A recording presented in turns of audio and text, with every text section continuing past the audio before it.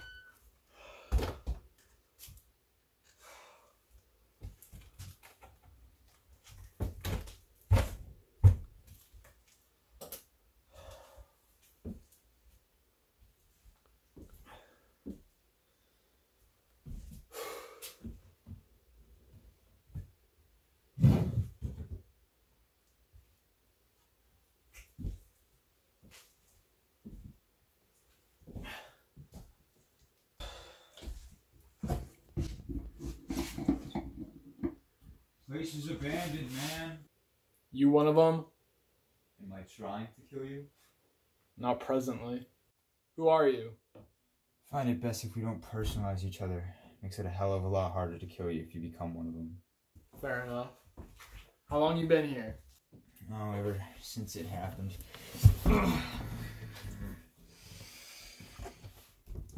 Cut my leg. Not exactly mobile.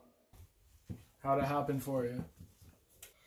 Driving up north with my girlfriend when I heard some weird shit on the radio. Figured it was fake or something, so I just turned it off. About half an hour later, I was driving by some houses and someone shot our tires. About five or six of them jumped out of the woods and surrounded us. Started jumping on top of the car and breaking windows and shit. They got her and I ran. Crawled out of the window and cut my leg. I guess things like this do bring out the worst in people, huh? Anyways, I ran down the nearest street, this one, and found this place. How about you? Just a few minutes ago, a kid, or one of them, broke into my house through a window and ended up killing him. That your blood? This? Nah. I had some bruises though. That how it spreads? From what I heard, yeah. I found a small radio back here that actually worked. Batteries are dead, but at least they said it's not airborne. It's transferable through cross contamination, sex, saliva, shit's like rabies. Except it makes you want to kill. You got any family? I had some. Two parents. Now this shit happened, tried to kill me. So I did what I had to. Did you enjoy it? What kind of question is that? Like when you killed that kid, did you enjoy it? They're my parents. The second lie you told me. You want to explain why you're covering up that wound in your side?